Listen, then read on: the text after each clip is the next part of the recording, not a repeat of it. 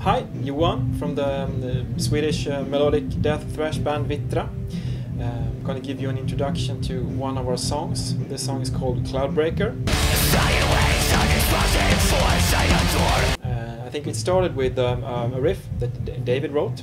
Uh, he played some chords, and I actually I took just some of the notes, some sort of single string uh, playing, um, and made it sort of the foundation uh, for the verse. And I, I think it was a combination with um, a song called uh, Tsar Bomba by Necrophobic. It's a really great song. Uh, I listened to it a lot uh, at the time. Uh, I still listen to it a lot, um, and I, I, I yeah got really inspired by it and, and want to create something slightly similar.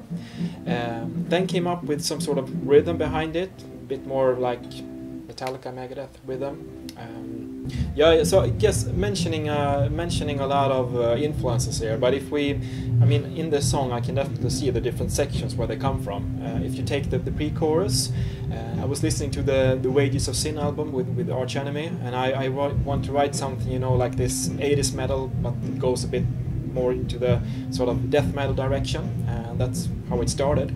And then the the second part of it just something that came quite natural when we were I think it was when we were rehearsing it or if we wanted to sort of record a demo and I just came up with something and then it yeah it stuck.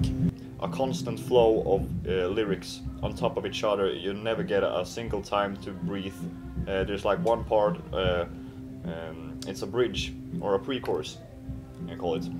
Uh, and uh, it's really exhausting. I have to remove like a few words and uh, think about where to where should I catch my breath and you know uh, give more energy to it before uh, the actual course comes because the course has to sound better than the pre-course. Oh yeah, uh, it was actually quite funny because I was um, I'm into Vikings. Vikings are quite cool if you ask me. if you ask Johan, he doesn't think Vikings are cool, which I think, mm, yeah. Mm, I don't agree with his opinion. Let's put it that way. uh, I actually said Skyfather in the beginning instead of Cloudbreaker, and he was like, "But uh, you know, Vikings they're so lame. Well, should add something else." And I was like, "Okay, whatever." If we uh, if we would constantly agree with each other, we would never evolve. Um, I think it's healthy, uh, a healthy disagreement between me and Johan, and we are both pushing each other in the same dire direction but then uh, you need to say when something is wrong and uh, when something is good as well.